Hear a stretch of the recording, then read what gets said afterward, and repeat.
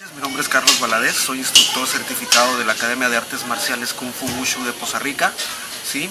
Eh, siendo una de las pioneras en la enseñanza de las artes marciales chinas, combinada eh, a través de un sistema que se enfoca en resolver situaciones de peligro allá afuera, en la vida real.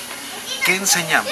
El arte marcial por excelencia, obviamente que es Kung Fu, siendo esta nuestra raíz principal, nuestro pilar fundamental, ¿sale?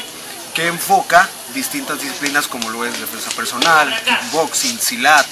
Trabajamos tres veces por semana, como lo pueden ver en un área completamente pública, en un espacio recreativo, ¿sale?